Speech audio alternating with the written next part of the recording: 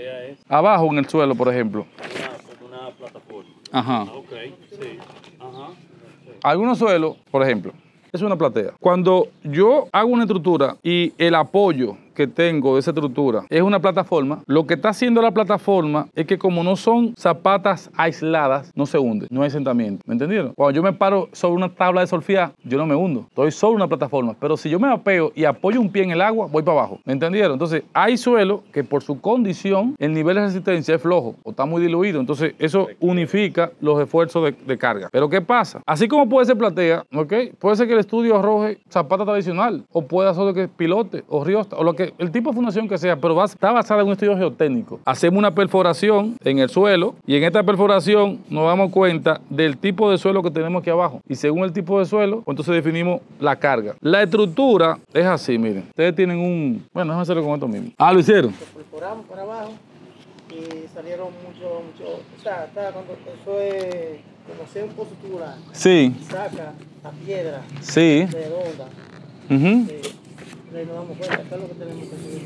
Correcto. Lo que tienen que ser así. Miren, le voy a poner un ejemplo muy bonito. ¿Cómo uno lo entiende? Eh, la, la, este es el suelo. Este es una columna. Cuando yo hago una columna, el peso que yo pongo aquí, la columna está hecha para coger un peso vertical, la gravedad, el apoyo. Pero ¿qué pasa? Cuando hay un terremoto, el terremoto no es vertical, el terremoto es así. Se mueve para acá o se mueve para los lados. Pero si yo muevo mucho, miren cómo se comienza a pandear. ¿Me entendió? Y si yo me muevo, se cae. Entonces yo tengo que hacer que el edificio, lo que yo haga, tenga la capacidad de coger este movimiento, soportarlo. Por eso yo voy a anclarme al suelo. De manera que aunque yo me mueva, el edificio se mueva con el terreno, no se me caiga. Pero cuando no hay, no hay, no hay, no hay, se, se mueve y se cae. Es lo que pasa ahí. El terremoto es para los lados. Entonces la estructura que voy a hacer arriba del edificio también tiene peso. El peso de nosotros moviéndonos, que viene representando el agua, uno caminando dentro de la estructura, o los muebles, o los vehículos. Este peso también hace, tenemos que calcularlo. Porque una columna, una columna, por ejemplo, de 270 por 20 por 20 me va a aguantar 40 toneladas. Me la va a aguantar. Pero me está aguantando la gravedad, más no aún no me está aguantando el movimiento. Entonces, la fundación que yo haga me aguanta ese movimiento. Cuando estamos trabajando en temas comerciales, tenemos que tener una responsabilidad con, con, con quien me está rentando. Entonces, tú tienes que ser muy segura para que esto no pase. La mayoría de los suelos, entonces, tienen asentamiento y los edificios se caen.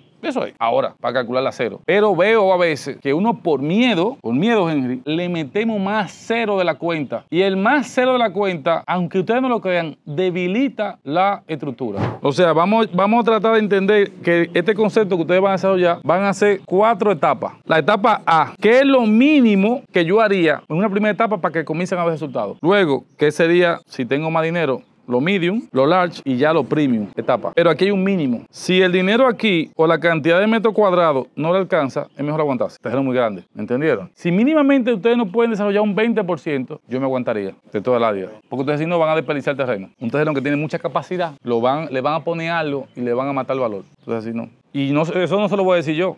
Ustedes mismos como familia lo, lo evalúan, lo ven. En una siguiente etapa, por ejemplo, de, de- de esta evaluación, vamos a calcular cuántos metros cuadrados se pueden hacer aquí. ¿Qué cabe ya? ¿Cuántos locales comerciales? ¿Cuántos temas en circulación? ¿Cuántos plazoletas? ¿Cuáles son la- las locuras que vamos a inventar? ¿Qué, qué, qué, qué se puede hacer y qué más o menos costaría? ¿Qué yo haría si fuera mío? Estuviera viendo la rentabilidad cruda. Entonces, entre esas opciones que van a ser puramente financieras, números, ok, Calderón, yo me siento cómodo como que con esta, con esta. Y de allí pasamos a una segunda etapa, que ya hace algo visual. Esto mismo, que ya conceptualizamos, comenzar un proceso de un diseño arquitectónico. En ese diseño arquitectónico, entonces llevamos, basado en los datos, a comenzar a ver cómo va a ser el tema comercial aquí adelante, a cómo va a ser el chistecito de la piscina flotante y lo que nos vamos a inventar qué, a comenzar a ver un video 3D, ustedes lo han visto, cómo va a ser ya dentro del terreno todo. Y de ese todo, ese diseño arquitectónico de conjunto, ok, vamos, esta va a ser la primera etapa. Este pedacito nada más, olvídense el otro. Vamos a comenzar con este chin. Y ahí se logan conmigo y arrancan por este. Pero tienen que hacer un diseño que lo conjunto para yo saber. El tema también de hacer un diseño arquitectónico es muy importante porque ahí van a ver otras cosas a detalle. Estructura, mecánica, electricidad, hidrosanitaria, tema contra incendio, todo el tema de la parte legal, ayuntamiento, obras públicas y un presupuesto muy detallado en base a las medidas. Van a saber cantidades de hormigón, de blog, de columnas, de perfiles, de data, de todo, porque ya tenemos los datos para poder calcular eso. Y eso lo ayuda a usted a tomar una decisión. Sí, claro. Esa es una de las cosas más importantes. Porque si no, no. Oh, vamos a iniciar, pero no sabemos qué se va a gastar, no tenemos un, un presupuesto, ni idea. Así no. Tienen que tener dos cosas. El presupuesto, por ahora, y lo que cabe, y más para adelante, entonces ya el proyecto arquitectónico. Hacer un estudio geotécnico, porque ustedes saben que aquí en La Vega el suelo es diferente.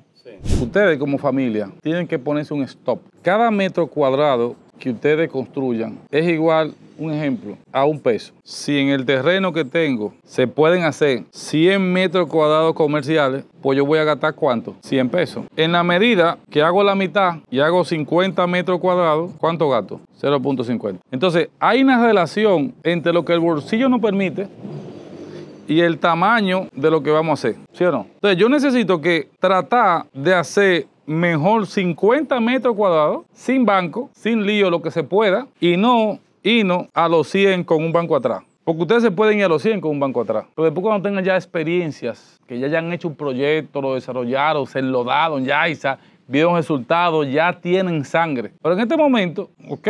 No. Porque ahora en este momento Ustedes lo que están es abriendo el camino como con un machete uno va, entrando. Pueden encontrarse por inexperiencia o con un lobo o con oro. Entonces, el banco me ayuda a una fórmula que yo ya puse a funcionar, meterle un cohete para arriba y acelerada. Hice el camino, vi oro, vengan, que aquí es, con todo. Pero no de Olin, no Olin ya hice. Entonces, comienzan con una parte con lo que el dinero alcance y poco a poco comienzan con esta parte y poco a poco, en la medida que va entrando más dinero, pues van haciendo más etapas. Ahora, esta primera parte con la que ustedes van a comenzar debe de, debe de ser bajo el criterio que les estoy explicando. Si el dinero que tienen no le alcanza para definir el concepto completo, se aguantan un año y no pasó absolutamente nada. ¿Me entendieron? Yo no puedo salir a construir un Mercedes-Benz, ¿verdad? Un Tesla, y después que no me alcanzó el dinero para la batería y el Tesla ahí parado. Mejor me aguanto. Vamos a reunir todo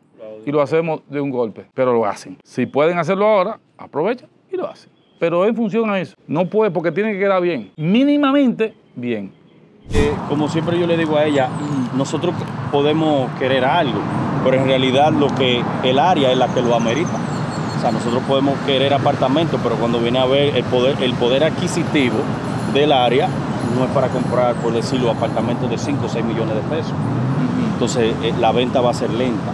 Entonces se hace, prácticamente los apartamentos eh, se empieza trabajando con lo que se venda. Si no hay venta, pues no, es lo que tengo por entendido, ¿verdad? Entonces, como es un trayecto bien transitable para Jarabacoa y eso, Sí. quedaría bien, creo yo, incluso a ella le gusta, de un, un comercio, ya sea como un, un café bistro, como un restaurante bistro, Sí. eh, no más restau- no restaurante como, eh, como, lo, lo que es un restaurante, restaurante, sino como un café que yo Mm. pueda, que se pueda coger para eh, para ciertas actividades y eso también, que, que sea un sitio de, como una posada Una cosa. de descanso, que tú vengas y digas, bueno, vamos a abastecernos de, perdón, de, de hielo, que, que una cerveza o algo, comemos aquí, descansamos y nos vamos, porque son trayectos lejos de la capital, de, de esos sitios que vienen, diría yo.